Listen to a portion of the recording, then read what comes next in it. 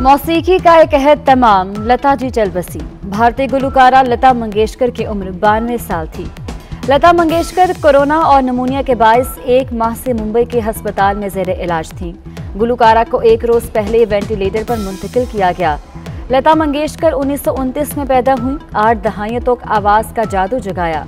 Career के दौरान पचास हज़ार से जायद गीत गाए।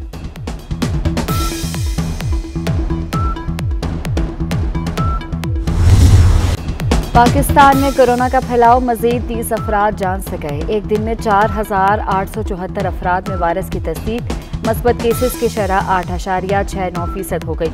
लाहौर कला गुज्जर सिंह थाने के S H O Masood Rehman को भी कोरोना हो गया।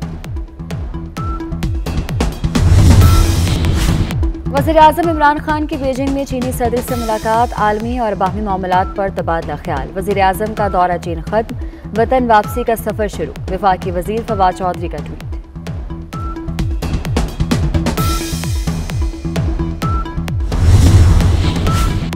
Opposition leader Shehbaz Sharif का नवाज़ शरीफ से टेलीफोनिक रबता। आसिफ अली जरदारी और बिलावल भुट्टो से मुलाकात की तफसीत से आगाह किया।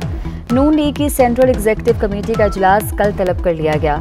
शहबाज शरीफ का मौलाना फजल रहमान को भी फ़ोन पीडीएम सरबराही इजलास बुलाने का फैसला।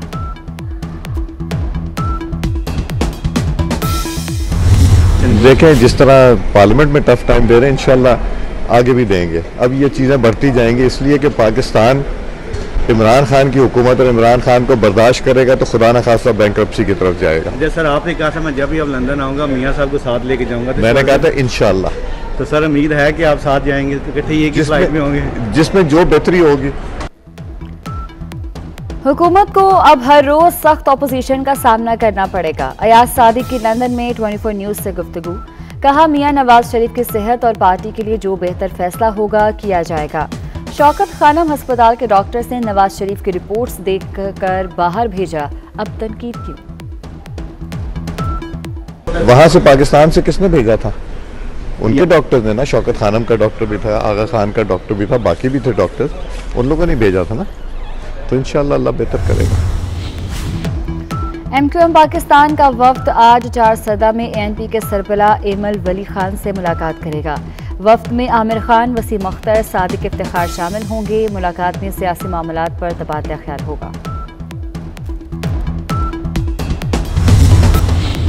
अमेरिका की कई रियासतों में बर्फानी तूफ़ान, चार लाख घर बिजली से महरूम। नौ हज़ार से जायद परवाजें मनसूख